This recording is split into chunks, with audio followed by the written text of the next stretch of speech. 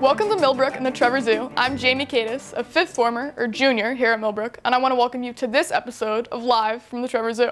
It's great to be here today. This is my second year at Millbrook, and the main reason I decided to go to school here is because of the zoo. I love animals, I always have. I've fostered dozens of dogs and cats, and I worked at my local nature center when I was younger.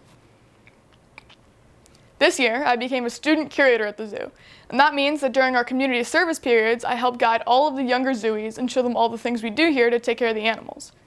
We have about 70 different students that come down to the zoo at different times throughout the week. Really, you could say that most boarding schools are pretty much the same, but what makes Millbrook special is that we are the only high school in the country that has a zoo. We also have Gus the Galago, and that's a real plus. Today, we're talking about one of the smallest animals here at the Trevor Zoo, but also one of my favorites, the chinchillas. We've had chinchillas in our collection at the Trevor Zoo since the early 90s. Today, the zoo currently has seven chinchillas. Sally and Charlie are our females, and Waffles, Cookies, Cream, Teddy, and Graham are our males. Waffles is our oldest chinchilla, born at the Trevor Zoo in 2009. Sally was also born at the Trevor Zoo in 2016, and is Waffles' niece. Charlie came to us in 2021. She and Waffles had their first litter in June of 2022, who were Cookies and Cream. They had a second litter in June of 2023, and those boys are named Teddy and Graham. Sally lives on exhibit and can often be seen on a high perch in her outdoor hutch. The other chinchillas live off exhibit, but come to see visitors during our ambassador animal programming, so at birthday parties and when school groups visit the zoo.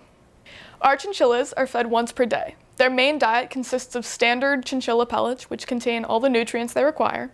We also offer them a variety of fruits and vegetables, dandelion greens, and offer them free choice access to hay.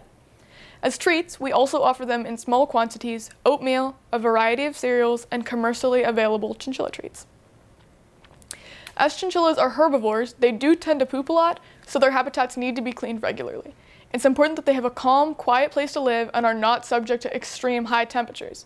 They also need regular access to dust baths so that they can keep themselves clean. We also provide our chinchillas with a variety of goal-based enrichment that elicit natural behaviors.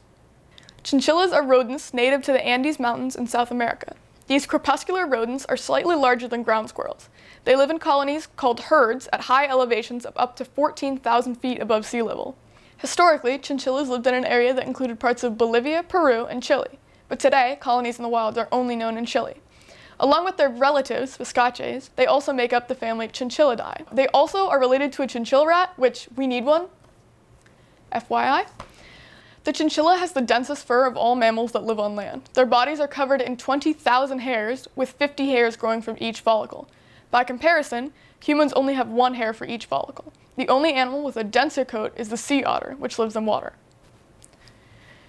The chinchilla is named after the Chincha people of the Andes, who once wore its dense, velvet-like fur.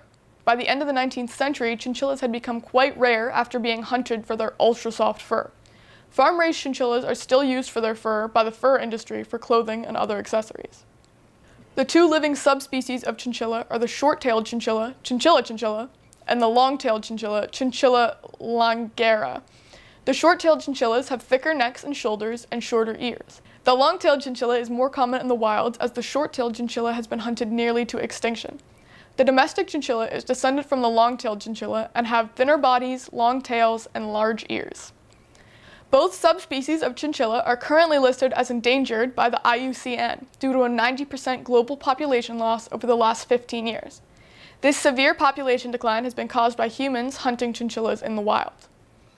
The chinchilla fur trade goes back to the 16th century. Their fur is popular due to its extremely soft feel, which is a result of their extremely dense fur. Also, the color is usually very even, which made it ideal for small garments or the lining of larger ones. A single full-length coat made from chinchilla fur would require as many as 150 pelts. Though it's illegal to hunt wild chinchillas, are now, they are now on the verge of becoming extinct because of continued poaching. In their native habitats, chinchillas live in burrows or crevices in rocks. They're agile jumpers and can jump up to six feet. Predators in the wild include birds of prey, skunks, felines, snakes, and canines. Chinchillas have a variety of defensive tactics, including spraying urine and releasing fur if bitten. In the wild, chinchillas have been observed eating plant leaves, fruits, seeds, and small insects. The average lifespan of a wild chinchilla is 10 years. Under human care, they can live up to 20 years. Currently, our oldest chinchilla, Waffles, is 15. He's one year younger than me.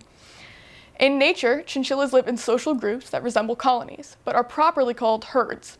Herds herd sizes can range from 14 members to up to 100.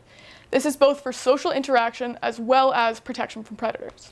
Chinchillas reach sexual maturity at 8 months. They can breed any time of the year, though breeding season typically falls between May and November. They are typically monogamous. Their gestation period is 111 days, longer than most rodents. Due to this long pregnancy, chinchillas are born fully furred with eyes open, and litters are usually small in number with two babies born. Fortunately for chinchillas, the AZA, Association of Zoos and Aquariums, has established a safe, saving animals from extinction, program for the species. And we here at the Trevor Zoo are participating in this program, along with about a dozen other AZA zoos.